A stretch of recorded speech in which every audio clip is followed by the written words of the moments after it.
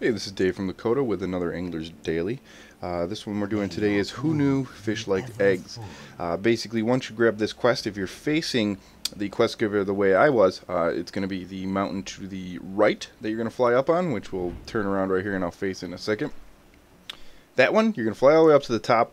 Uh, the one right behind you will have lower levels if you can't uh, fly, but basically you're looking for pristine egg uh, from the great cranes. They're in their nests.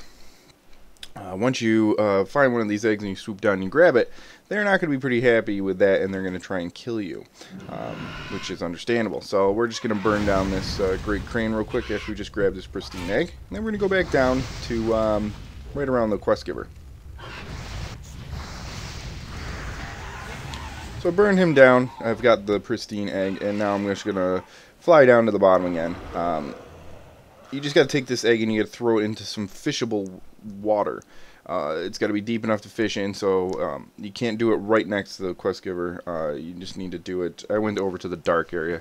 Uh, when I did it right here, it said uh, too shallow. So you go over to the dark area, you cast. It's going to create a a fishing school look in the water, but it's going to be green.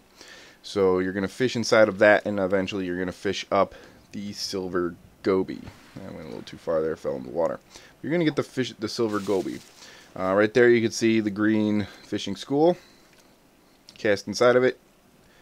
And you got your silver goby. You're going to turn this back in for some gold, valor points, lesser charm, good fortune, and a, a skill point in fishing if you're not already max.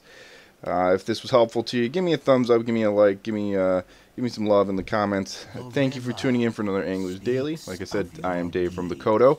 Like always, good luck and have fun.